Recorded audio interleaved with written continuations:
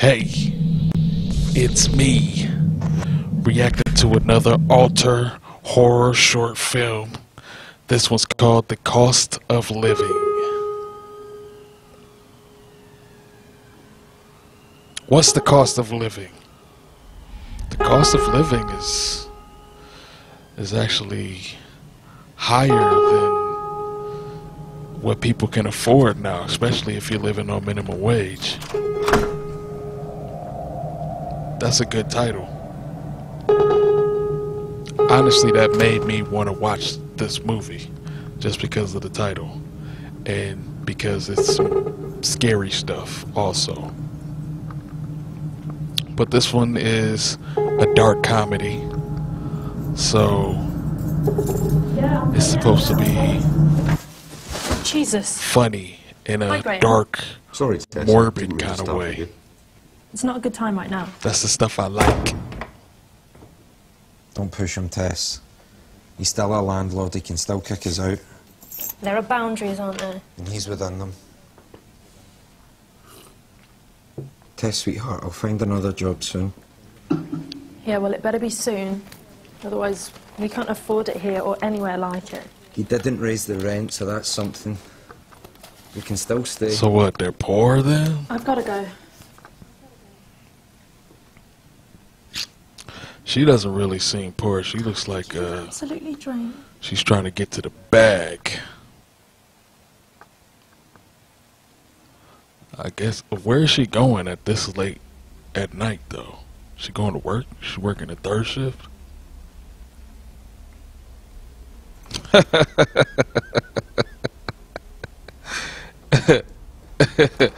this dude is just a part of the story.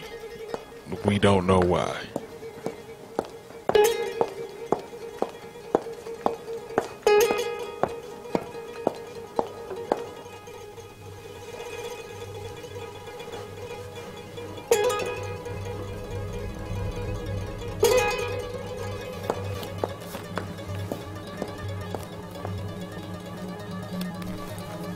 She forgot her wallet. Bullock, she says.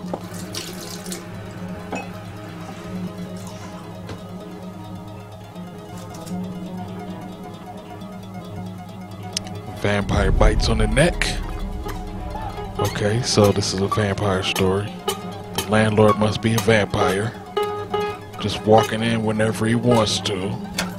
So he must have something over their heads.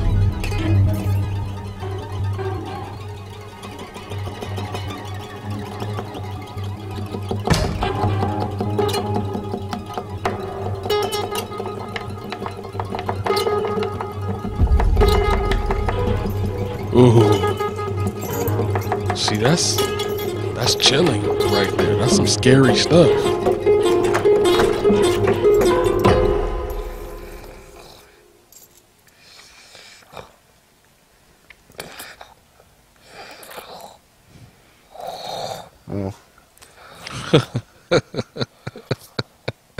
Just left my wallet.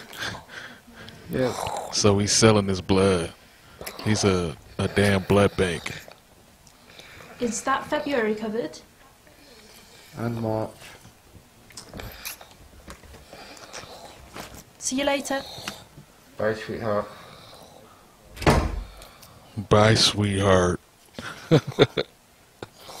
That's the cost of living. Another alter production. I'll be reacting to more short films. Ipso facto. Link in the description. I'm out.